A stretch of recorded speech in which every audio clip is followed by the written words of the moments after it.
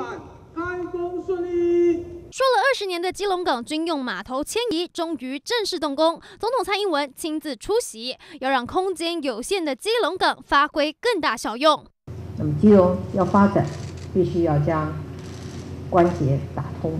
林佑章市长所提出来的微笑港湾计划，就是要把全基隆市区的港区空间做充分的利用。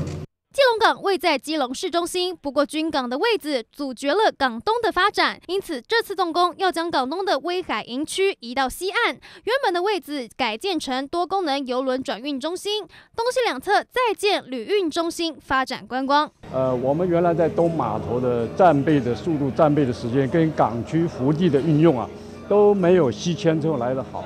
西迁之后，我们的战备速度会加快。呃，我们的腹地也都增加了，包含我们官兵的生活设施都增加，所以这是一个三赢的工作。虽然迁军港已经喊了二十年，但拍板定案是在马英九总统最后任期。不过动工典礼却没有邀请马前总统。过去很多人讲要来支持基隆，要推动基隆的一个再生、跟改变、跟蜕变，但是也只有蔡英文总统以实际的一个行动。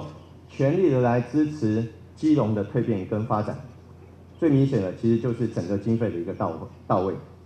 基隆二零一四年由蓝转绿执政，李永昌上任不断端出牛肉轻轨，再结合港区重建，创造基隆盛世，也为自己连任给足力多。华语新闻赖伟凡、黄云成基隆报道。